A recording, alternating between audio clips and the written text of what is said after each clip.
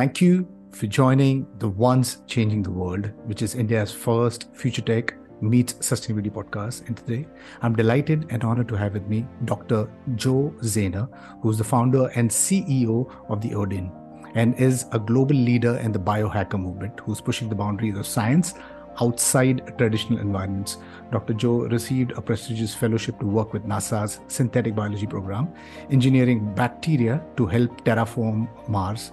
Dr. Jo has a number of scientific publications and awards for work in protein and genetic engineering and also writes the amazing amateur gods blog. So dr jo hmm. really appreciate and i'm completely honored to have you on, on the show. Now you you yeah uh, uh, you, you're a biohacker and, and, you've done really out there things you know and there there are there are peers who maybe do not like you so much. So so i, I want to start with uh, biohacking. So uh, as a biohacker you have chosen to biohack yourself and also change your gender. So can you share more about your personal experience and, and the process? Yeah so biohacking is kind of like people doing science outside traditional environments and just taking control of biology, our biology and the biology of the world, right? Because up till this point in time in human history, everything that happened in biology or through DNA, we really had no control over, right? So, like, people who were born, right, their genetics were determined by in some way by random chance or the things that grow. You know, the genetics of these things were determined by some amount of random chance. But through modern science and, and medicine, we've gained the ability to actually change DNA and biology to a certain extent how we see fit, right? And that gives us the ability to explore and do things that we couldn't completely do before for me, a lot of this has to do with like body and medical freedom, right? A lot of times it doesn't matter where you live or or what medical guidelines you live over, the governments or or people prevent us from being able to treat ourselves or do to our bodies what we see fit, you know? They outlaw medicines, they outlaw drugs, they don't approve them, or they don't give us access to them. And uh, I think that's harmful for society. So, you know, to me, biohacking is is all of these things. Would you like to talk about your journey and as your transition, you know, how you have transitioned from Josiah Zayner to Jo Zayner? I mean, can you talk about the process? Outward appearance and expression of gender is something that a lot of people in society see as very fixed, right? Like this is what we define as a, a male person, and this is what we define as a female person. The thing is, if you look in biology and, and life in general, it's not so clear cut. There are many organisms that change sex over time right? And that's crazy.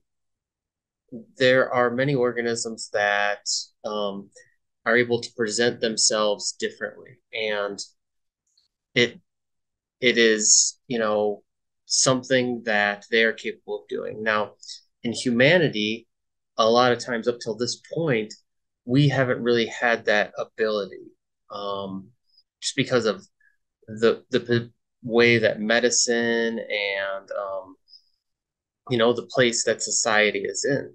But with modern medicine and modern treatments we're starting to have that ability to allow people to change these outward things about their body. I think what people don't understand is that gender is nothing more than an expression on the body from hormonal changes inside the body being able to control those hormonal expressions, how we see fit to present ourselves, how we see fit, I think is uh, very beneficial to humanity, whether that's taking testosterone to make yourself appear more male and strong, or taking something like estrogen to do the opposite. I, I think we moving out of the boxes because I think religion, society, uh, the world itself, I think puts you in, in in this boxes, you know, that this is the way you're supposed to be, and this is the way you've got to live your life. But I, I think this convergence of technology and us understanding the source code of life, the DNA, the, the genetics, who who we are, what we are, I think eventually maybe we'll we'll we'll break away uh, the shackles or, or, or, the barriers that you know we, we cage ourselves uh, into hmm. and, and and and go beyond and and and and I'm really delighted and honored to have a conversation with somebody who's one of those front movers. Now, you know, yeah. being, being a front mover of this technology obviously comes with a lot of cons you know because you, are breaking a lot of barriers because you know the society you know structure everything wants you to be in a certain way. How, how how's the society the world uh, uh, you know reacted to your choice your preference of you know biohacking yourself you know changing your gender? Changing my gender is uh I, I mean in culture in in western culture it's very it's it's pretty well accepted. Um, people have come to the place where they understand that these forms of expression are something that's positive for society, right? Um, it brings about more acceptance and more love to people. I think the gender expression in terms of biohacking, all the other experiments I've also done around genetic engineering and, and stuff like that on myself, um, I think it it falls under this idea of what most people call transhumanism, right? And the idea of transhumanism, like you were saying, is that we shouldn't be stuck in the genetics and the bodies that we were given at birth. We should be able to have a choice, you know? And we do to some extent. You know, some people dye their hair, or some people change the clothes they wear in, or you know put makeup on on their skin. Like people do a lot of things to change their appearance. And the idea that we can also change this you know flesh thing that we live in is this idea of transhumanism that we should be able to move forward and change our bodies not just our gender but also things you know like grow other limbs or you know, express ourselves in technologically interesting in different ways. Right. Yeah. So, so I, I think through history, uh, I think we humans have been continuously augmenting ourselves in ways. You know, even even this glasses, it, it, it's kind of an augmentation. And you know, there's cochlear implants and so on and so forth. And the, these things have completely uh, changed the way and added more how we can perceive the life you know better. So i, I it, it's just that the, the structures once we break down you know with this convergence of technology this metaverse web 3.0 artificial intelligence I, I, I think there'll be more acceptance of, of, this this these kind of things you know how we can self express uh, ourselves now uh, uh, you, you, spoke about uh, you know genetic editing and and you are a, a proponent of uh, genetic modification. Uh, how, yeah. how do you how do you see the role of genetic modific- modification in improving healthcare? I don't think it's just healthcare though. Healthcare is a big part but i think it's just um, our bodies in general right? Because a lot of things that people might see as cosmetic let's say um, you know, weight loss or muscle building or athletic performance. Um, I think genetic modification can benefit all these things, right? So everybody has certain DNA that they are given at birth, um, not by choice. This is DNA that we just have from our parents, from their parents, DNA that we have no choice over whether we get it or not. And over the past, let's say, 10 years, we've really started to understand how we can modify this DNA to do things differently in humans. And there have been um, three FDA approved gene therapies, um, a gene therapy approved in Europe also, which allow people to modify the human body for disease purposes, right? And it's been uh, groundbreaking the things that we can do. But the thing is, is that genetic modification is so much more than just disease. While that's great and amazing, and you know we'll see lots of breakthroughs, I think the interesting thing is also going to be for non-disease reasons, right? And uh, that's going to be really cool to see people be able to modify their genes and do things that we couldn't do before or express themselves differently or, you know, but like I said, grow an extra limb or a tail or wings or something. Like human beings, I think in the next 50 years are going to start changing a lot because we now have control over our genetics when you say that in, in the next 50 years you know human being as a species is going to change you know we'll have possibly wings you know tails and and the, these various ways how we can augment ourselves. What's the cutting edge of technology you know amongst the bio biohackers you know what what can we expect to see possibly this decade and beyond?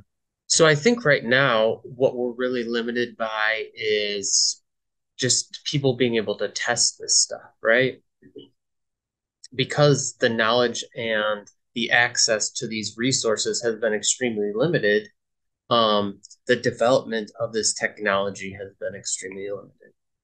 So, what we are seeing in humans is so far behind what we can see in other organisms and animals, right? Our understanding and use of genetic modification in other animals has been great, and we've been able to do crazy stuff. You know, like make flies with four wings and you know grow weird body parts out of animals. Um, because people have spent the time and resources to experiment with these things. Humans is, is a different thing. We are just entering this point where people are starting to experiment and it's not a lot of people right? Because the traditional scientific community isn't really into experimenting with these things on humans. And that's where the biohackers come in. A group of people who are rebellious against the traditional scientific establishment and into doing these experiments on themselves to see what the results can be. And we're starting to see very promising results. Um, you know, in during the pandemic, me and a few other biohackers worked on a DNA based vaccine for COVID, and we saw immune responses in ourselves. And this DNA based vaccine that we worked on is now used by other countries in the world. I think India, even um, one of the vaccines used there is a DNA based vaccine. And this was before anybody else had any vaccines out available to the public, right? And so you're talking this this vaccine was a genetic modification of our cells to protect us. And it was pushing science way further forward than it was at the time, right? Stuff like this is what's possible when people are willing to experiment on themselves right? Yeah there, there's some very interesting things happening you know because at one point in time i think you know the access to knowledge was you know largely uh, there for the you know the harvards and, and the cambridges and stuff like that. But you know today with with, with the democratization of knowledge through you know these moocs open up uh, uh, free uh, courses eh, you know and, and, online learning i think it's the democratization of knowledge is, is changing the world. You know today maybe uh, uh, unknown random person sitting you know the obscure part of the world you yeah. know who, who's like possibly open to the ideas and and having conversations and reaching out to people can change the world if he or she desires to you know? And and that's that's that's really really cool. You you mentioned about i mean you look at you look at you look at like right you look at like linux right? Or like android you know android is based off of linux based operating systems or something like if you ask somebody like who do you think created the most used operating system in the world? You know, people would say, oh, you know, Microsoft or somebody from Harvard or someplace like that. When in fact it was Linus Torvalds, who was just somebody working in his apartment in Finland, right? He was just programming his in his apartment in Finland, and he developed what would be the Linux operating system, which is now you know, the most used operating system and the foundation for Android and all these other things. It wasn't a big company. It wasn't, you know, somebody from a fancy university or anything like that. Anybody can do these things if you make them accessible. Anybody can change the world, I think, right? you mentioned about uh, you know genetic modification of augmenting human beings and there are people doing some really fantastic stuff and you mentioned about the dna based vaccine can you describe some yeah. more specific genetic modification technologies or therapies uh, or, or, you know ways of it which can be biohacked so the thing is is that a lot of genetic engineering never makes it to the clinic um, so we see human experimentation in the scientific and medical literature but it never actually makes it to broad human use. And there's a lot of reasons for that funding, you know, um, regulatory environment, um, you know, the market, and all these things. But there are a lot of genetic modifications and gene therapies that have shown promise um, in, in, terms of like just general human augmentation. And um, some of those are generally revolve around, you know, like muscular and athletic performance. Um, for example, experiments with people who have Becker muscular dystrophy. You know, me- muscular dystrophy is like a muscle wasting disease where people lose their muscle. Um, they've experimented with growing muscle in these people by using this genetic modification that is a, a follistatin protein. It causes muscle to grow in, in our bodies and they put this gene in people and it's been shown to build muscle and help them be able to walk right which is pretty impressive now you imagine you can also apply something like this to somebody who can already walk to increase their muscle to make them faster runner or, or something like that they've shown that drugs like um or genes like uh VEGF they call it VEGF which is a gene that increases the vascularization of tissue, right? So people in diabetes, they've tested this on because a lot of times with people with diabetes, what happens is in their extremities, they get poor blood circulation, and then sometimes they have to have these limbs amputated. Well, you can imagine you could also use that for somebody who wants to have a lot of muscular endurance. You increase the the uh, vascularization of tissue. It increases the blood flow to the tissue. It allows your your muscles to perform longer at a higher level, right? So you're talking sometimes these very simple things that have been tried and tested on humans and shown promise um, that haven't made it through the clinic for regulatory or other reasons um, we know of right now that we could use in humans to improve ourselves biologically. Can you talk about what you're currently working on? The things I'm currently working on aren't related to genetic modification, so to speak. I mean, there's some stuff that I'm interested in in terms of uh, expressing proteins that or genes. You know, proteins come from genes, so generally when I say proteins, I mean genes also. Um, expressing genes that produce hormones. You know, like gender specific or sex specific hormones. Um, a lot of times, people who um, either want to take more testosterone or more estrogen, right? They have to take a pill every day or a shot, you know, inject themselves in their muscular tissue. Um, when you could probably genetically modify somebody so that their body just produces more of this. Say you have like low testosterone, right? And um, your body generally doesn't produce enough testosterone. You could put a gene in the body that makes more of this, um, which is interesting and, and would be fairly simple. It would just be, um, you know, doing the experiment, measuring all the things. So that's something that I've been working on right now. Um, the other things I've been working on are more towards uh, like growing tissue. Um, so we're talking about like artificial wombs and um, growing tissue in you know cell culture outside of organisms, and um, yeah, I'm working a lot on that stuff, figuring out um, the the the growth media and the environment that these tissues need to survive and last longer outside of bodies. Andrew Hessel uh, is the founder of Humane Genomics. Uh, he wants to synthetically engineer life. How far do you think we are away from being able to start creating, building life from scratch? Yeah, Andrew and I are good friends. Um, uh, I think we are. Th- this is one of the interesting things about biology, right? Is that every cell that is in existence has come from another cell, right? There's never been a cell created that didn't come from another cell that we know about. Human beings have never been able to artificially create a cell.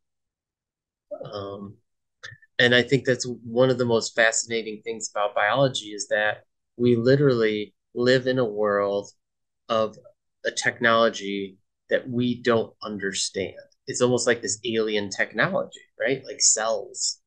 They are this alien technology that we don't completely understand. We can't recreate cells. It is just we we arrived in this world and now we're trying to decode how it all works.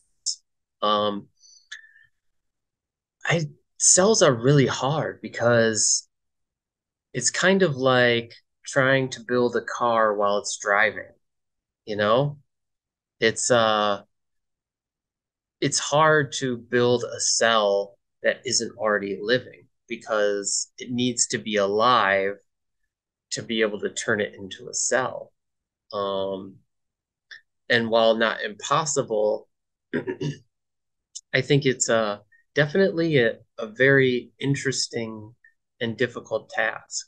I think one day, obviously, human beings will be able to do it. Um, but I think before then, we will just learn how to repurpose cells, you know, take cells that already are there and modify them in ways that they can be used, you know, differently. George Church has been working on de-extinction, you know, trying to bring back the, the mammoth and, and, and the Tasmanian tiger. Uh, what, what are your views on that? I think that those are interesting projects. Um, I don't know how useful they are. To me, it's kind of like, what would you rather do? Um, reminisce about something that used to be, or create something new that's even better. You know, to me, I I try to look forward and not back, and so I think a lot about, um, you know, what can we create new, you know? Not that there's anything wrong with trying to de-extinct species. I think that's very interesting. Um, it'd be cool to see, you know, like a saber-toothed tiger or some something like that. Um, but also like that seems kind of boring. I, you know, I want to see a Pegasus or like a unicorn or something, a dragon, right? Why make a re re bring back, you know, the dodo bird or something when you could make a dragon? Like everybody wants a dragon, right? You know, when I say cool, I also know that it, it, it's also scary, you know, because I think we humans, uh, for the first time, uh, uh, have the capabilities to even you know think about you know building things like that and, and I, I, guess it always starts with an idea it always starts with somebody crazy enough to think that it's possible. And if not today, if not in the next 10 years, I'm sure it'll be possible in the next 100 years if there's crazy minds such as yourself who are going beyond and doing it. But yes, I think you know when we're going and building things like that, we also need to look at you know what could be the downsides of, of things yeah. like that you know when we so yeah. is that something that you kind of think about because uh, we the course of conversation we were mentioning about you know the democratization of knowledge you know because today i think people sitting in co- students can kind of tinker around with crispr cas9 g- genetic editing tools you know you yourself uh, sell do, do, do it yourself you know crispr editing tools uh, does that kind of worry you about you know what kind of future we're getting into or, or, or do you think that we humans are smart enough and we'll be always be able to take care of our world i don't know if humans are smart enough um yeah i think um we're very primitive. I, I forget who said it, what was the quote, but it's something like, you know, we have Paleolithic brains and godlike technology. Um, something like that. And it's true. Um, I think the thing is, is instead of trying to inhibit or slow down technology, which people often do, I think instead we should approach it from the point of view is how to start off with and say like how can we make this technology most beneficial and most accessible, right? Because I think whenever we have technology that's accessible, whenever um, the control, the power around the technology is more decentralized, we see it become much, much more beneficial. We saw that a lot with the the computing and internet revolution, right? When the technology was the, the control of the technology was decentralized, it just created such a rapid evolution and growth that now we all benefit from the technology. And I think the same thing can be had with biological technology. Are there bad things that happen? Yeah, like we never saw the negative effects of things like social media and how that what that would have on our psyche and like how how much it's you know negatively affects people and a lot of other negative effects of misinformation and you know all these things in our media those things are hard to predict um, but i think that if we start off um, trying to be positive and beneficial with these technologies you know i think the good will far outweigh the bad right I, I, completely double that so how do we go about making it beneficial and accessible for all because you know right now in the course of conversationing uh, you, are mentioning about gene therapies and, and there's an article that you, you wrote in december 28th your newsletter was in the pharma industry and the gene therapy title a 3.5 million gene therapy yeah. so uh, how, how do we because because i'm sure you must be getting so many letters from distressed parents of children who are yeah. suffering and how, how do we do that? How do we make this beneficial and accessible for everyone? Yeah, it's extremely difficult. And I think it starts with education. You know, I think that, like, in order for people to be able to uh, help and benefit each other in, in the society, like, people need to understand how this technology works, be able to, you know, use this technology if possible to benefit everybody. I think it's the same thing with um, you know, computer programming, right? It's like if I want an app that, I don't know, helps me schedule my day, I don't have to sit there and go and program an app that helps me schedule my day. Somebody else has already done that. And I could just go on an app store, download that app, pay whatever, you know, 99 cents or, you know, whatever, 4.99 it costs to buy this app, and that benefits me and I think it's the same thing. We need more people who understand and can use this technology. And once that happens, then I think it makes it a lot more available and accessible to people so that they can benefit themselves. But right now, I think the state that everything is in is like we know more about how our computers work than we do about our DNA. And the DNA is what makes us alive. That's crazy, right? We don't even understand about ourselves. And I think that needs to change a lot.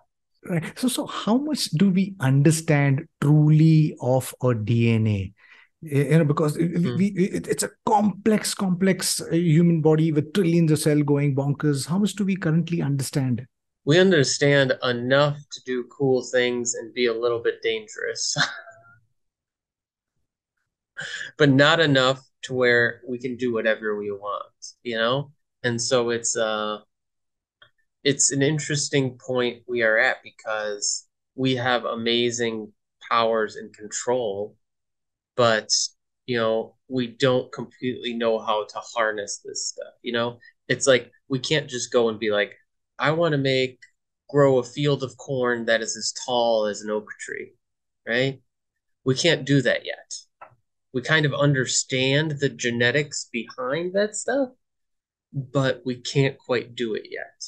But realistically, right? anything that you see in nature is possible to play around with genetically. If you've seen it in an organism, there's no reason that it can't be biologically created in another organism or changed or modified, right? So, what breakthroughs you think are needed where we can get into a safe genetic e- editing without any unwanted uh, consequences? I don't think we necessarily need any breakthroughs. I think the the state we're at right now is pretty good. Um, I think most uh, gene therapies and things like that, um, treatments with genes, have been fairly safe.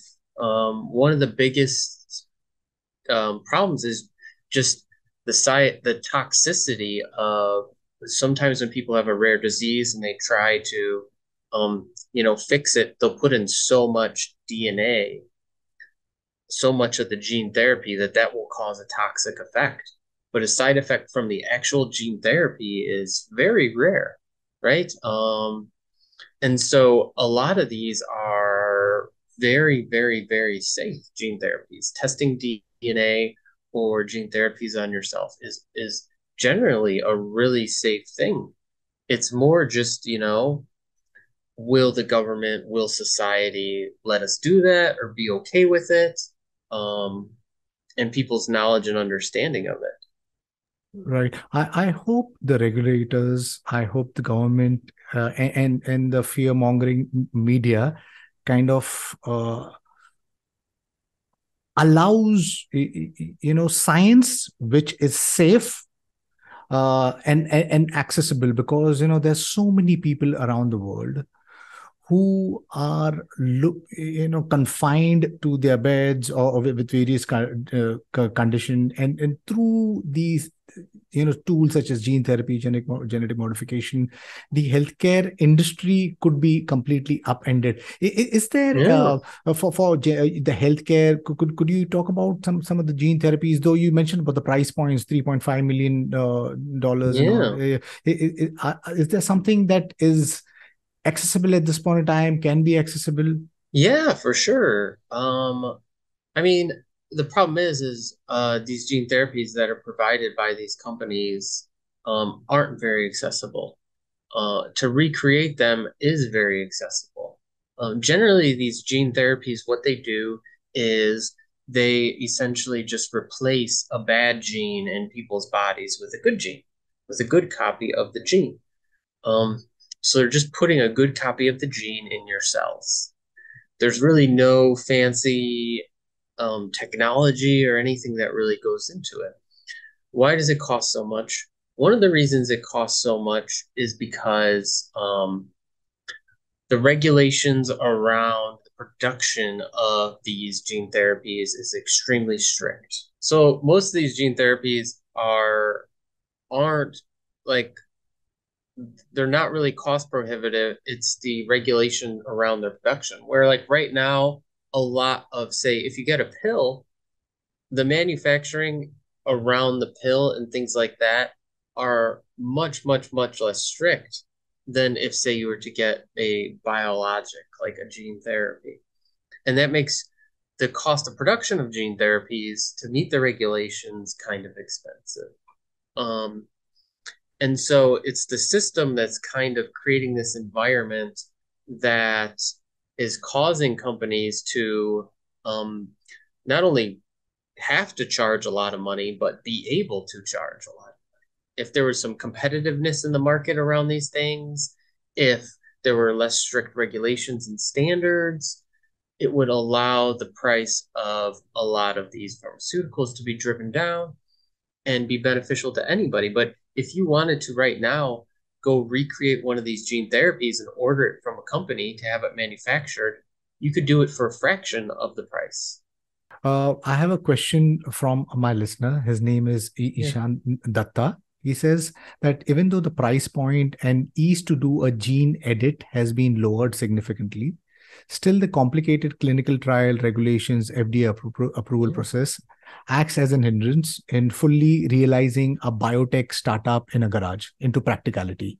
So, how do you see these hurdles being overcome by, say, kids who want to start their biotech startup with, you know, as little as maybe uh, hundred dollar capital? I think people need to stop thinking about biotech as just pharmaceutical, right? I think that's what everybody thinks about. It's like biotech is pharmaceutical, but you think about what's going to be the the, trillion dollar biotech product. You know, what's going to be the iPhone of biotech? It's not going to be a pharmaceutical. It's going to be some consumer product, right? It's going to be something like a dragon, right? If you were to make a dragon in your garage, right, and and sell these to people, a little, you know, little mini baby dragon or something like that, everybody would want one as a pet and I think people need to start thinking about biotech differently. Don't think about it in terms of pharmaceuticals only. Think about it as how can you create consumer products from this? Because that's when the revolution's really going to begin, right? Once you make the consumer product that people can buy and use, like the iPhone, when you make the iPhone of biotech, right?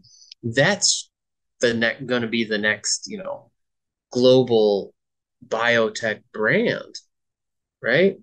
It's going to be the person who figures out what that is. And what is that? I don't know yet. It's it's not so easy just to predict the future and what's going to come up with it. But there's so many opportunities with, you know, engineering plants, engineering animals, engineering, you know, foods or whatever to make something that's unique and cool and interesting right yeah there is so much which is going on people kind of engineering food and so on and so forth. There's, there's a second question from ishan datta itself. He says how far are we from uh, using glowing plants as street lamps? Glowing plants is a very difficult one. There's a lot of other cool things you can do with plants. Probably right now you know my company the odin we sell plant genetic engineering kits where you can change the colors of plants glowing is a difficult biological process in general um, because it takes so much energy to emit light like that. And so getting up to a place where we can have glowing plants um, where we can significantly see them glowing, I think is going to be very difficult, right? There's not a lot of glowing organisms in the world. Um, and you're talking billions of years of evolution, we don't have a lot of glowing organisms. And there's a reason for that, right? Um, generally, these organisms are very small, bacteria, um, things like that.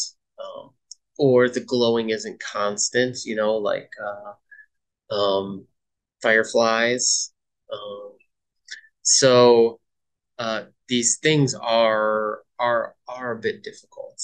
Um, so I, I think it'll happen in the future, but I think we're still a little ways away from it because, you know, it's a difficult problem in terms of energy consumption. Right, right. So, so forever we've held this view that aging, disease, and death is an unalterable event eventuality. Mm-hmm. How how how close do you think we are from altering this assumption? oh wow um aging i think is interesting i think a lot of people um want to fight against um death right they're interested in how can i live longer or eventually become immortal which sounds like a science fiction movie um, and it kind of is, but you have to think about what are, to start off, you have to think about what are the major causes of death, right? Generally, the major causes of death aren't just like old age. Um, there are other things, heart disease, cancer, other like lifestyle diseases almost, um, that even if I could right now, you know, inject you with something or wave a magic wand and say, you know, you will never die of aging. You'll probably die of cancer, you know, in 150 years, right? And so I think the first step to and you know help people live forever quote unquote is to fix some of these major diseases now people are talking a lot about health span these days which is you know live the same amount of time but be more functional for that period of time i think this is a lot more reasonable and achievable for certain things you know we talked a bit earlier about um muscles you know and like increasing people's muscle. A lot of times in old age, what happens is people lose muscles. And so they lose their ability to balance and they fall and they hurt themselves and things like that. So, um, helping people grow more muscle using gene therapy would be like a good way to increase health span. Um, you know, heart disease. So, reducing heart disease, reducing lipid accumulation, and things like that would be a good way to increase health span. And I think those things are very reasonable and very possible. I think the problem is is just that most medical and regulatory bodies don't really see age as a disease or health span as a, a, something that needs treatment. And so getting these things available to the general public right now is going to be extremely difficult. Right. There was a talk. There was a talk by Bill Gates uh, on YouTube, you know, which is titled "How CRISPR Could Save Lives and End Disease." And, and and the normal general assumption, you know, with genetic CRISPR-Cas9 editing is that you know people think that that genetic editing is the be end uh, for everything. You know, hmm. possibly the, all diseases uh, could completely be eradicated. Is is that something which is possible? I don't think so. You know, it's it's because uh you people are thinking about all known diseases or all things we face now, but you have to understand that biological biology is a constantly evolving system, right? And so it's a system that is constantly trying to keep itself in balance. And so even if say we figure out how to get rid of cancer, that's not to say that new types of illnesses or diseases or new types of genetic mutations that do different stuff to us aren't going to affect our lives as illnesses or diseases, right?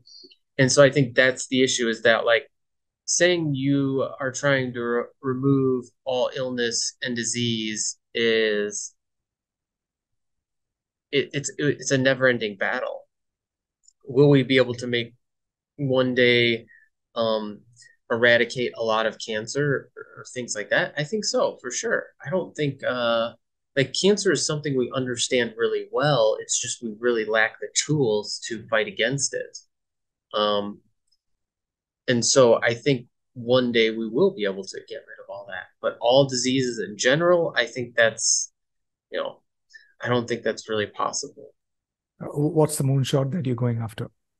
If I had a billion dollars, I think the thing that I would be most interested in researching, a lot of people think about artificial intelligence in terms of computer systems, which is who knows if we'll ever get there, you know? Um, but I like to think about artificial intelligence in terms of biological systems.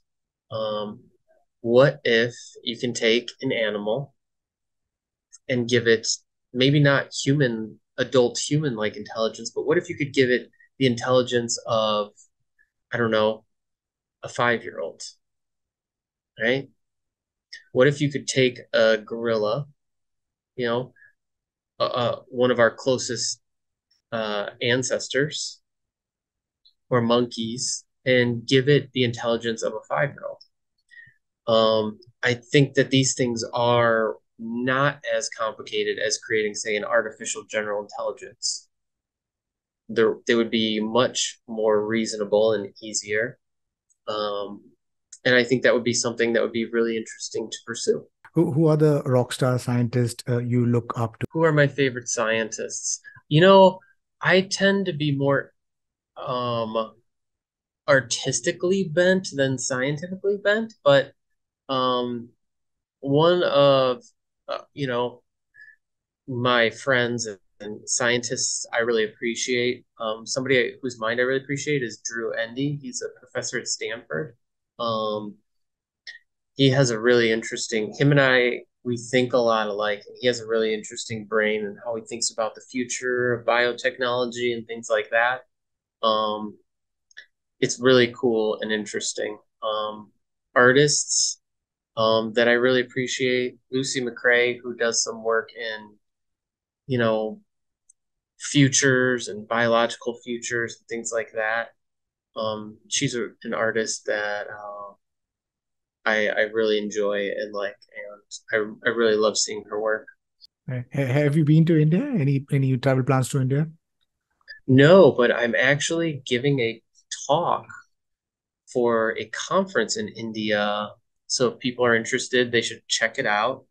Uh, I'll be doing a Zoom talk. I won't actually be there, unfortunately. I would love to visit India one day. Um, but yeah, that that will be February second to fifth. So look it up. It's uh, the darwin.in. So the darwin.in. Um, it should be a conference in India. I think they might have an in person portion of it.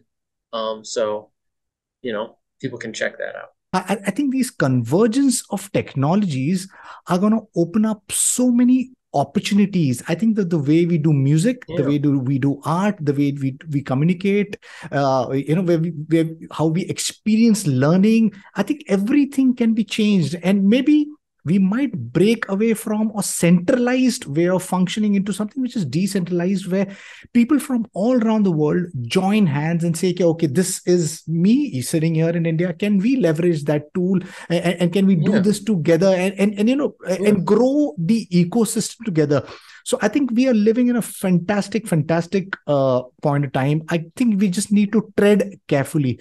Someone who's been invested yeah. in biotech for, for the longest time, would you be able to leave us behind with the next possibly uh, 30 or 40 years? You know, how do you think the world is going to look like? How, how uh, us humans are, are, are going to change? I think that's the thing that we all have to start embracing. Um, is that human beings are going to change and they are starting to change, you know? And some people are fighting against it because they think it's unnatural or they don't understand it. You know, oh, this person looks different. Oh, this person doesn't abide by society and culture ways that humans should look or act or do things. Um, the thing is, is we're gonna, that's gonna change so much in the next, you know, 10, 20, 50 years because people are starting to understand that they can change these things. And I think coming to terms with that and being accepting of that, that like human beings aren't going to be what they are now in a hundred years. They're going to be totally different, right? We understand how to change our genes. It's too late. We're not going to stop doing it. We're only going to do it more and more and more and more till I imagine eventually one day, 500 years from now, human beings might not be recognizable as to what we are right now, right? And that's great. But we have to come to terms with that. And I think what I would tell people is that, like, look, you're not going to change the world by doing and acting like everybody else, right? The world is changed by people who are willing to do something different and risk something. And so if you can if, if people who are listening this can start thinking about that, like do different things, risk something, because doing the same thing that everybody else is doing is only going to get you to the same place that everybody else is right. Thank you. Thank you once again. Yes i i think your education system you know where we the schools and the colleges you know these 40 50 students you know sitting in front of the blackboard and everybody yeah. is, is, looking you know at the at the blackboard you know. And yeah so i think we need to do things which is out of the box and and that's where uh, because the society is changing and, and it's inevit- inevitable you know the place where we're going i think we all need to join hands and, and you know make that step into that future brighter. So really appreciate you taking time and being part of the podcast. To my listeners if you like what you see in here then please press the subscribe button and until next time see you guys. Thank you. Really appreciate it yeah this. like and subscribe right? Like and subscribe. Listen to the podcast. Thank you